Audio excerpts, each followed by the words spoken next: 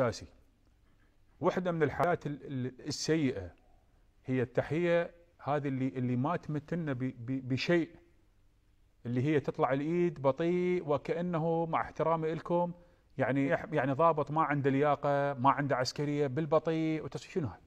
شنو؟ مين هاي؟ يعني مين جتي هاي الحركة؟